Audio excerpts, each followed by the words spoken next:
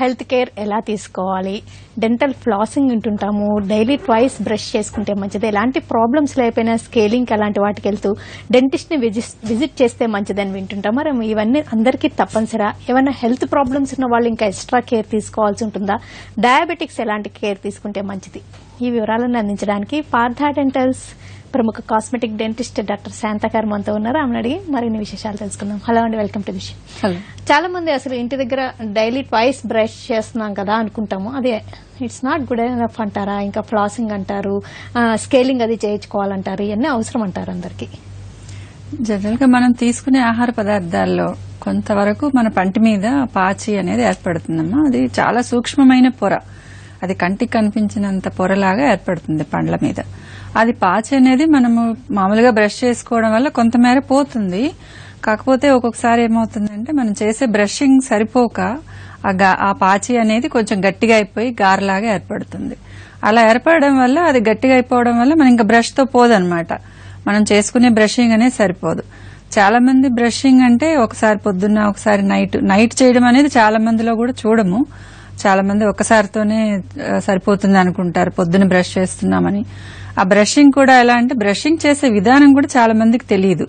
దానివల్ల పాచి అనేది సరిగ్గా పోకపోవడం వల్లనే ఆ పాచిలో సూక్ష్మజీవులు చేరి అది గారలాగా గట్టి పడిపోయి పళ్ళ మీద ఇన్ఫెక్షన్ అనేది చివులలో ఇన్ఫెక్షన్ అనేది చాలా మందిలో చూస్తుంటామ్మా అంటే టీత్ వైట్గా ఉన్నప్పుడు ఇంకా ఇలాంటి ప్లేక్ కానీ ఇలాగ ఉండొచ్చు అంటారా? అంటే ఎల్లో ఇష్యూగా మారి కొంచెం గారబట్టినప్పుడు అట్లా అనిపించినప్పుడే ఈ స్కేలింగ్ అవసరం అంటారా? వైట్గా క్లియర్గా ఉన్నప్పుడు కూడా అవసరం అంటారా? పళ్ళు పైకి చూడడానికి తెల్లగా ఉంటాయి కానీమ్మా పళ్ళకి చిగురికి మధ్యలోనే మనకి పాచి గార అనేది ఏర్పడుతుంది. దానివల్ల చిగుర్ల ఇన్ఫెక్షన్ అనేది మనకి పళ్ళ మీద కనిపించదు. పంటి మీద కనిపించేది వేరు చిగుర్లలో ఉండేది వేరు. చిగుళ్ళలో ఉండే పాచి వల్లనే మనకి ఇన్ఫెక్షన్ రావడం పళ్ళు కదిలిపోవడం అనేది జరుగుతూ ఉంటుంది. దుర్వాసన రావడం ఇలాంటివన్నీ కూడా జరుగుతూ ఉంటుంది. చాలా మంది పళ్ళు తెల్లగా ఉన్నాయి కాబట్టి క్లీనింగ్ అవసరం లేదని అనుకుంటూ ఉంటారు. కనిపించదు కూడా. ఒక్కొక్కసారి ఆ గార అనేది సబ్జింజేవల్గా జింజేవా లోపల చేరిపోతుంది. అది తీయడం కోసమని మేము క్లీనింగ్ అనేది చేస్తుంటాం. దాన్నే స్కేలింగ్ అంటూ ఉంటాం. అది లేజర్తో కూడా చేయొచ్చు అనమాట ఇప్పుడు. ఫ్లాసింగ్ అనే దాని మీద చాలా రకాల అపోహలు ఉంటాయి. ఇది- దీనివల్ల పళ్ళ మధ్య గ్యాప్ వస్తుంది అంటుంటారు. ఇది అందరికీ అవసరం లేదంటుంటారు. ఏదైనా గమ్ ప్రాబ్లమ్స్ ఉన్నప్పుడే ఫ్లాసింగ్ చేస్తే మంచిదంటారు. ఇది అందరికీ అవసరమా? లేకపోతే డాక్టర్ సలహా మేరకే చేసుకుంటే మంచిది? అసలు ఫ్లాసింగ్ చేసుకునే విధానం ఏంటంటారు? మనం బ్రషింగ్ ఇన్స్టాల్ చేస్తాము. యాక్చువల్గా ప్రతిరోజు ఫ్లాసింగ్ అనేది కూడా అంతే కంపల్సరీ అని చెప్పాలి. ఫ్లాసింగ్ అంటే ఏం లేదు. మనం బ్రష్ చేయడం వల్ల పంటికి రెండు వైపులా మాత్రమే క్లీన్ అవుతుంది. ఫ్లాసింగ్ అనే దానివల్ల పంటికి పంటికి మధ్యలో కూడా క్లీన్ అవుతుంది. పాచి అనేది క్లీన్ అవుతుంది. సో పంటికి పంటికి మధ్యలో గ్యాప్స్ రావడానికి కారణమే ఆ పాచి ఆ సూక్ష్మజీవులు చేరడం. సో మనం క్లీన్ చేయడం బ్రషింగ్ సరిపోదు కాబట్టి ఫ్లాసింగ్ అనేది కూడా చేసుకోమని చెప్తాం. ఇప్పుడు ఏదైనా తిన్నప్పుడు పళ్ళ మధ్యలో ఆహారం ఇరుక్కుపోతుంటుంది. అలాంటిది కూడా ఫ్లాసింగ్ ద్వారా ఈజీగా తీసేయచ్చు. సో పళ్ళ మీద మళ్ళ మధ్యలో వచ్చే పిని కూడా నివారించుకోవచ్చు. ఫ్లాసింగ్ అనేది అందరికీ కంపల్సరీ అని చెప్పాలి. మంగవేణి గారు కాల్ ఇద్దాం మంగవేణి గారు? ఆ, నమస్తే అండి. నమస్తే చెప్పండి. ఆ, మేడం బ్రష్ చేసినా కూడా ట్వంటీ ఫోర్ అవర్స్ తర్వాత స్మెల్ వస్తుందండి. అవునమ్మా. మౌత్లో నుంచి. అవునమ్మా మనకి బ్రష్ చేసినంత మాత్రాన సరిపోదమ్మా. పాచి అనేది పూర్తిగా బ్రష్తో తి- క్లీన్ చేయలేము. అందువల్లనే అప్పుడప్పుడు ఎవ్రీ సిక్స్ మంత్స్కి డెంటిస్ట్ దగ్గరికి వెళ్ళి క్లీనింగ్ చేయించుకోవడం అనేది కంపల్సరీ కంపల్సరీ అనే చెప్పాలి. పాచి అనేది ఒకసారి గట్టిపడిన తర్వాత ఇంక బ్రష్తో పోదు. ఆ- ఆ పాచి వల్లనే మీకు దుర్వాసన అనేది నోటి దుర్వాసన అనేది మీకు వెంటనే ఇమీడియట్గా ఒక గంట తర్వాత మళ్ళీ పళ్ళు తోముకున్నా కూడా దుర్వాసన అనిపించే అవకాశం ఉంటుంది. అలాగే మనం పళ్ళు శుభ్రం చేసుకోవడమే కాకుండా నాలుకని కూడా శుభ్రం చేసుకోవాలమ్మా నాలుక మీద కూడా పాచి బ్యాక్టీరియా అనేది చేరుతూ ఉంటుంది.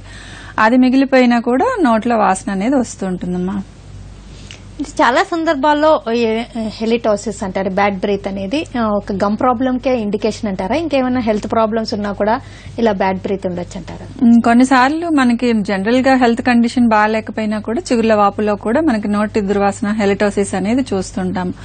చాలా మందికి సైనసైటిస్ అంటే జలుబు చేసినప్పుడు కూడా సైనస్లో ఇన్ఫెక్షన్ అనేది ఉండడం వల్ల నోరు కూడా వాసన అనిపిస్తుంటుంది. ఆ జలుబు తగ్గిపోయాక కూడా కొన్ని రోజుల పాటు వాసన వచ్చే అవకాశం ఉంటుంది. అలాగే ఇండైజేషన్లో కూడా నోటి దుర్వాసన అనేది అనిపిస్తూ ఉంటుంది కానీ ఇవన్నీ పక్కన పెడితే చాలా మందిలో మాత్రము పంటి మీద క్లీనింగ్ సరిగ్గా లేకపోవడం వల్లనే మనకి నోటి దుర్వాసన అనేది ఎక్కువ శాతం చూస్తుంటాం అలాగే ఆహార పదార్థాలు అనేది పుప్పిపళ్ళలో ఇరుక్కుపోయినా కూడా మనకు నోటి వాసన అనేది వస్తూ ఉంటుంది. అది ఎందుకు వస్తుంది అనేది ఒకసారి మీరు డెంటిస్ట్ దగ్గర కలిస్తేనే మీకు కరెక్ట్ కారణం అనేది తెలుస్తుంటుంది. ఎందుకు రాకు మళ్ళీ రాకుండా కూడా నివారించుకోవచ్చు. వెంకటరమణ గారు కాల్. వెంకటరమణ గారు? అవునమ్మా నమస్తే. నమస్తే చెప్పండి. నమస్తే అండి డాక్టర్ గారు. నమస్తే వెంకటరమణ గారు చెప్పండి. అమ్మా ఇప్పుడు మా అమ్మాయికి టెన్ ఇయర్స్ అమ్మా. అయితే పిప్పళ్ళు ఫస్ట్లో వచ్చిన పళ్ళుకి ఊడిపోయాయి సెకండ్ వచ్చిన పళ్ళు మొత్తం పిప్పళ్ళు కింద అయిపోయినాయి అమ్మాయి అంటే పాపకి వయసు పది పదకొండు సంవత్సరాలు కదా?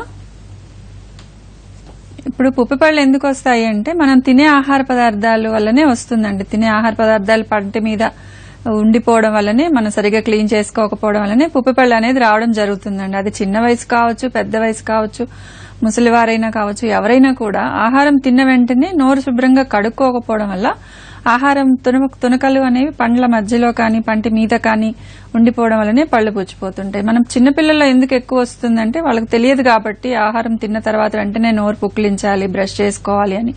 తెలియదు కాబట్టి వాళ్ళకి ఎక్కువ వచ్చే అవకాశం ఉంటుంది. ఇప్పుడు మనం ఈ రోజుల్లో చూస్తే ఎక్కువ మంది తొంభై శాతం పిల్లల్లో మనకి క్యావిటీస్ అనేది పుప్పిపళ్ళు అనేది చూస్తున్నాం. అలాగే అడల్ట్స్లో పెద్దవాళ్ళలో వంద శాతం మందిలో కూడా మనం ఇప్పుడు క్యావిటీస్ ఎక్కువగా చూస్తున్నాం. పుప్పిపళ్ళు అనేది చాలా మంది పెద్దవాళ్ళలో కూడా కనపడుతోంది. అది ముసలివారు అయ్యాక ఇంకా ఎక్కువ అవుతోంది. ఎందుకంటే వాళ్ళకి మనకి మామూలుగా నోట్లో ఉండే లాలాజలం అనేది ఏజ్ ఏజ్ వచ్చే కొద్ది తగ్గిపోతూ ఉంటుంది. నోరు అనేది డ్రై అయిపోవడం మొదలు పెడుతూ ఉంటుంది. కాబట్టి వాళ్ళకి ఇంకా పుప్పిపళ్ళు ఎక్కువ వస్తూ ఉన్నాయి. సో వాళ్ళు ఇంకా ఎక్కువ జాగ్రత్త తీసుకుంటూ ఉండాలి. అప్పుడప్పుడు డెంటిస్ట్ దగ్గరికి వెళ్ళి చెకప్ చేయించుకొని ఏదైనా పుప్పిపళ్ళు వస్తుందా అని చూసుకుని దానికి ట్రీట్మెంట్ తీసుకుని ఫిల్లింగ్ ద్వారా సరి చేసుకోవచ్చు. పుప్పి అనేది పెరగకుండా. సుజాత బాయ్ గారు కాల్. సుజాత బాయ్ గారు? హలో? హలో? సుజాత గారు. హలో? హలో? నమస్తే అండి చెప్పండి మీకు వస్తున్న అడగండి. నమస్తే అండి. నమస్తే చెప్పండి. ఆ, వాళ్ళ హస్బెండ్ మాట్లాడుతుందండి చెప్పండి. ఆ క్వశ్చన్ అండి ఆమ్, హలో మా వైఫ్ యాక్సిడెంట్ అయింది వన్ మంత్ అవుతుందండి. ఓకే. ఆ, రెండు ఫ్రంట్ రెండు టూ- రెండు రెండో తారీఖు అయిందండి బైక్ యాక్సిడెంట్.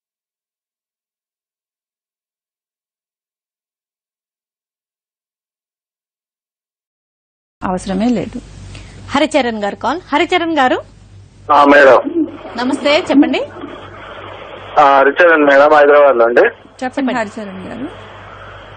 మేడం కింది పన్ను తీసేసుకున్నాము ఒక రెండోది.